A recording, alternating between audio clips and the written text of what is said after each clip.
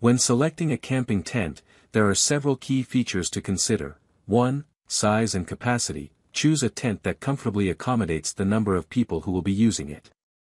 Consider the floor area, peak height, and sleeping arrangements.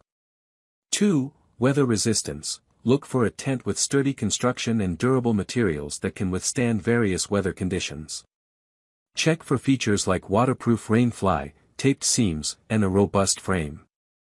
3. Easy setup. Opt for a tent with a straightforward setup process, preferably with color-coded poles and clear instructions.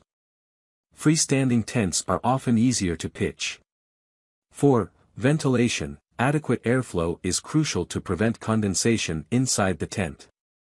Look for mesh panels, windows, or vents that allow for proper ventilation while keeping insects out. 5. Durability. Consider the quality of the tent's materials, including the fabric, zippers, and poles. Reinforced stitching, strong zippers, and robust pole materials contribute to a more durable tent. 6. Weight and portability. If you plan to hike or backpack, choose a lightweight and compact tent that can be easily carried.